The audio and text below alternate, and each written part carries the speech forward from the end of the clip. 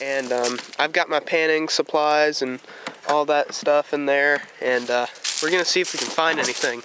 Um, I'm hoping that we'll at least find some flakes. Um, but it looks like a great place to look at. Um, let me just show you all the creek here. It's all bedrock in here. So the gold gets trapped up all throughout these little pockets and uh, works its way down there. So hopefully we'll find something. If we do, I'll let y'all know. But until then, wish me luck. Well, there's been this patch right here, which we've uh, kind of fanned out um, all this area and um, gotten our material in here that we're going to pan. Um, we already did pan a little bit, and uh, we came up with a little bit of gold.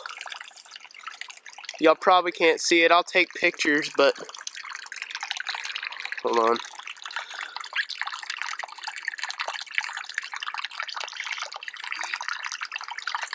But there is a piece of gold in there. So we'll keep going and uh, let y'all know if we get anything. Hopefully we find something and it'll make the trip all worth it.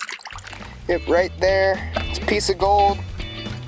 That is awesome. We'll let you know if we find anything else. That is awesome. Yeah.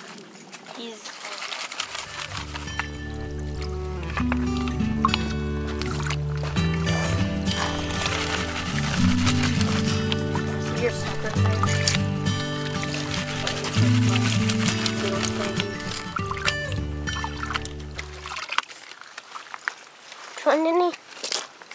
And we found some dudes, I think. Yep, I think there is some in there. Oh, there's some. Right there. Do you see it? Yeah. Right there.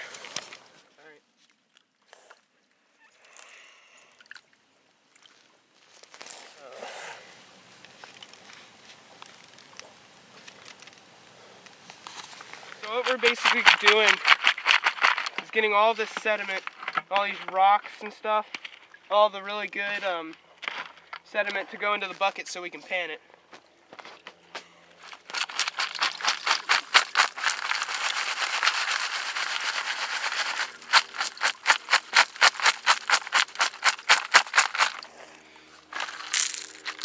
Let's go get some gold.